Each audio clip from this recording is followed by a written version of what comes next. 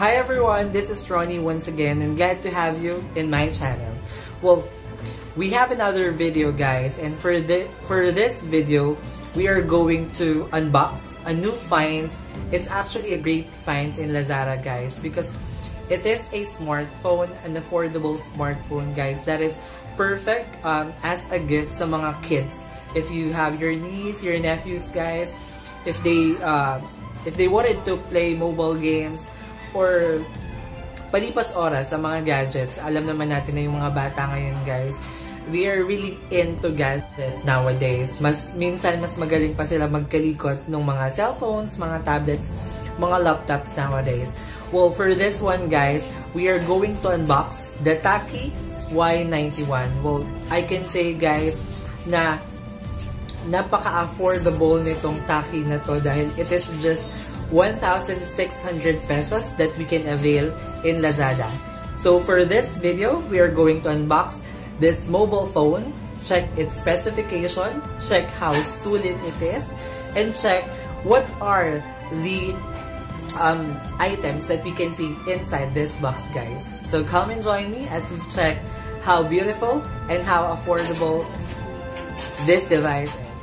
Come on. So this is how the box of Taki Y91 looks like. As you can see guys, plain white lang siya with the picture of the phone itself on the top. And at the back of the box guys, we can see the specification of the Taki Y91.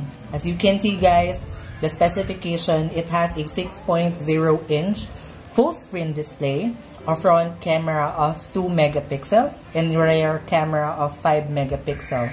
It has a battery capacity of 2,500 milliamp hour, a 1 gig of RAM processor, and 4 gig of internal storage. Taki Y91 has three variants. It has a black color, a gold color, and a blue color one.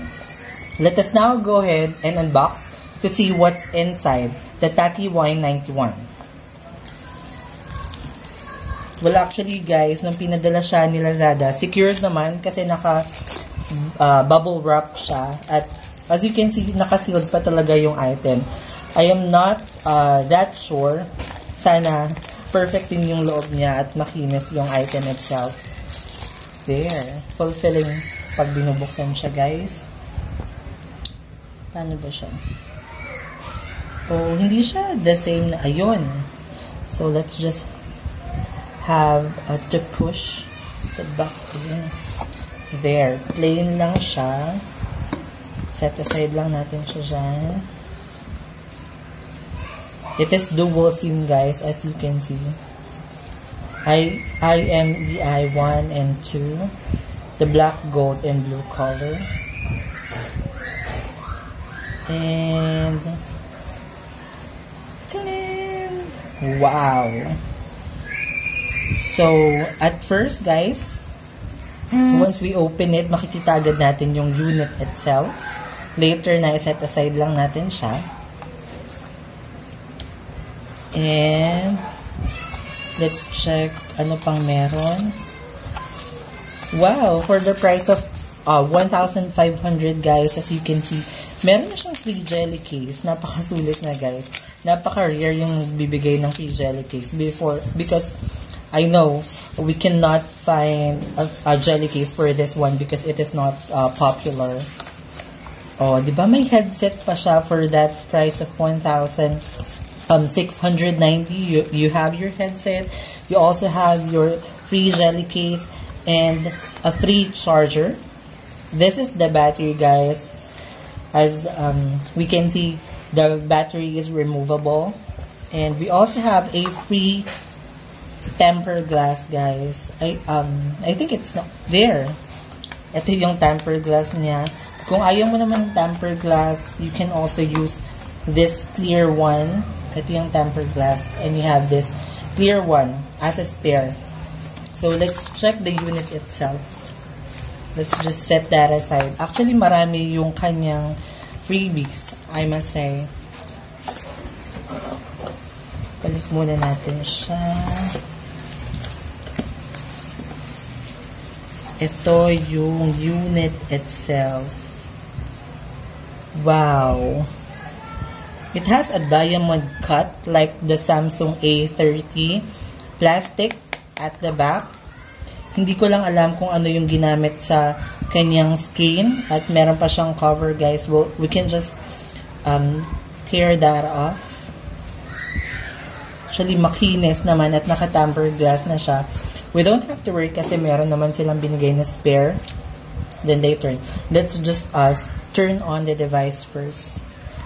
It's removable.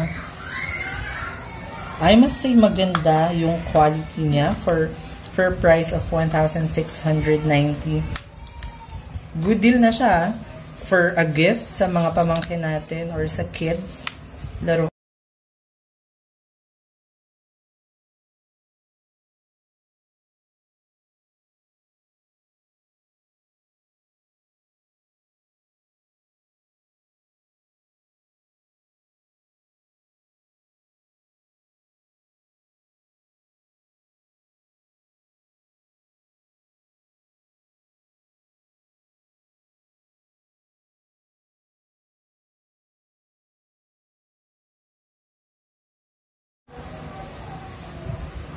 Ayan. Na-open na natin siya. Let's just check kung meron siyang factory charge para makita natin yung unit itself. I hope meron siyang uh, factory charge. Tintinin. Medyo challenging yung pag-open sa kanya, in fairness.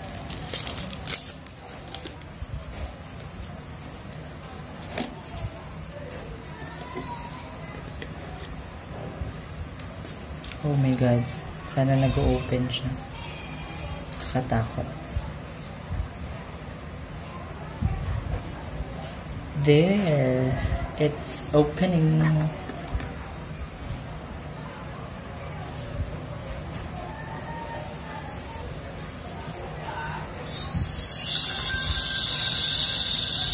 Malakas yung music niya, in fairness.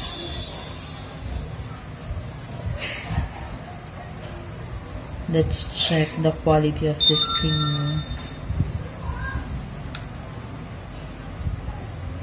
I can say mabilis yung response niya. Mabilis yung response ng screen. Ayan. Camera.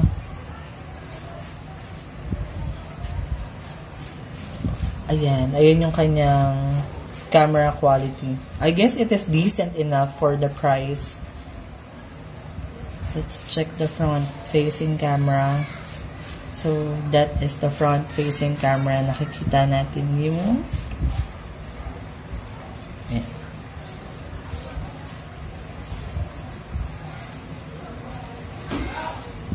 So far, so good with the response of the touchscreen itself and mabilis din yung transitioning. We have our Bluetooth, the Wi-Fi, auto-rotate, Okay.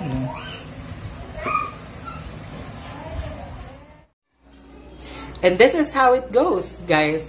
Nakita niyo naman kung gaano kaganda yung um, mobile phone na ito with its price of 1,600 pesos. If you can grip it, it hindi mo ma-notice na it actually prices for just 1,600 pesos. And it is perfect sa mga kids nga tulad ng sinabi ko. Just a back back of phone guys. Because with its specification 6 inch full touch screen guys with 2500 milliamp hour battery 5 megapixel rear camera and 2 megapixel front facing camera with all the specification that we've already discussed guys I guess that answers our query na uh, is it worth to buy? I can say guys na for its price na 1,600 it is really worth buying if you're planning to um, give a gift to your loved ones, your niece or nephew, nephews, guys. I hope I was able to help. I can assure you guys, this is a good catch. There. Ayan siya.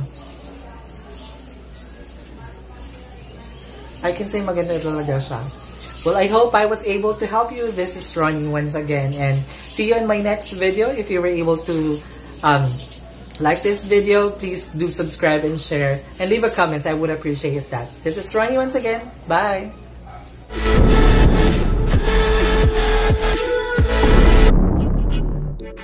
Think I'm losing my mind